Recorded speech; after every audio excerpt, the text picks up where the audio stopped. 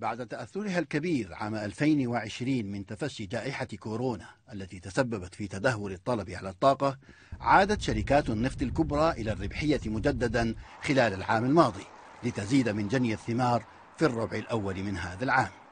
بيانات شركات النفط حول العالم تظهر مقدار ما حصدته نتيجة ارتفاع أسعار الخامات منذ مطلع العام الحالي رغم تأثير الغزو الروسي لأوكرانيا على الأنشطة.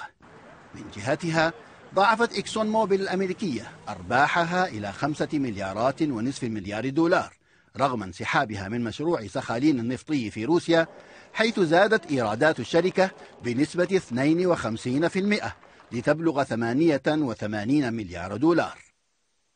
الشركة المنافسة شفرون ضاعفت أرباحها أربع مرات إلى ستة مليارات وثلاثمائة مليون دولار مع ارتفاع إيراداتها سبعين بالمئة إلى أربعة وخمسين مليارا. هذه الأرباح الوفيرة للشركتين جاءت رغم انخفاض إنتاج إكسون بنسبة ثلاثة في المئة نتيجة إعاقة الطقس للأعمال في كندا وتراجع إنتاج شفرون بنسبة 2% بسبب تأثر أعمالها في إندونيسيا وتايلاند. العملاق الفرنسي شركة توتال إنرجي ورغم الغموض الذي يكتنف مستقبل نشاطها في روسيا أعلنت أيضا تحقيق أرباح صافية قاربت خمسة مليارات دولار في الربع الأول من هذا العام مستفيدة من ارتفاع أسعار الخام.